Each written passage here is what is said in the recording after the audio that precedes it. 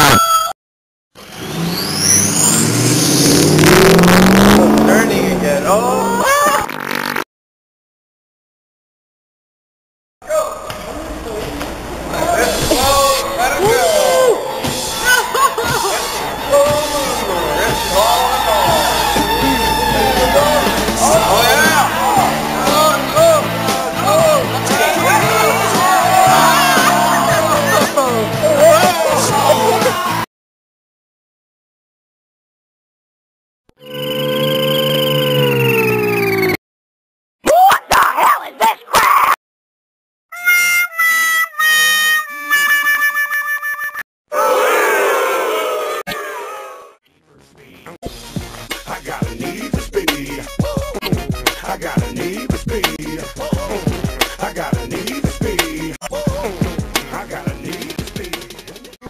If you ain't first, you're last.